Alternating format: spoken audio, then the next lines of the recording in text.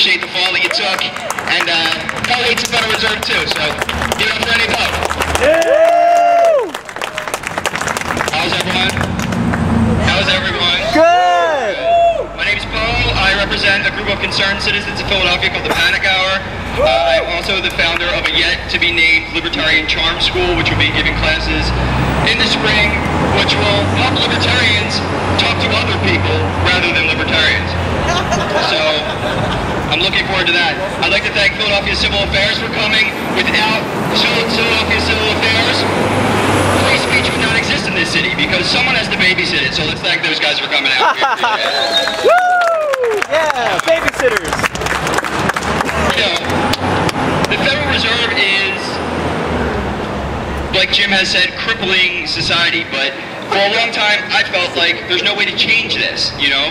And the thing is, the rise of Bitcoin, it has really changed the actual fucking world. I mean, politicians are worried about Bitcoin. They're shutting down Silk Road, you know? I mean, we are making an impact to a certain extent.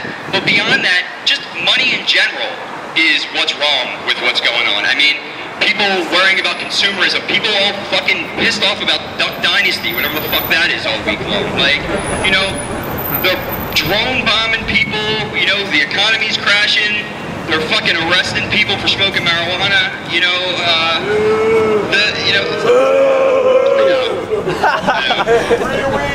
so, just listen, fighting for freedom nowadays has become a very risky thing. I have a lot of friends that are in a lot of trouble for raising their voices, you know, right now. So we really have to stop fighting each other, you know, fighting each other on the internet, fighting each other out in the streets. I mean, we need to take this message to a larger audience. I mean, it's great to be with all you guys, but like, you know, we have to stop insulating these issues and bring them to the sheeple because they really need, you know, we need them, uh, unfortunately.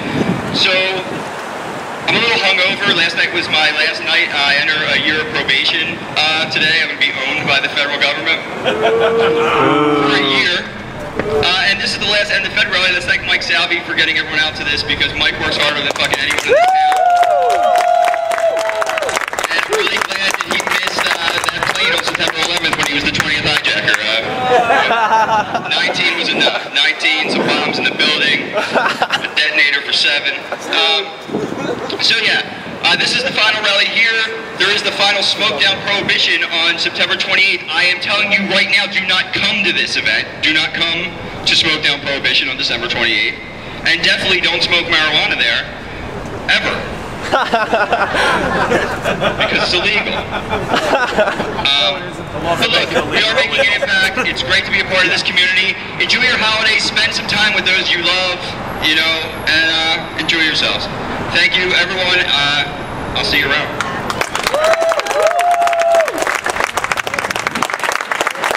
One more time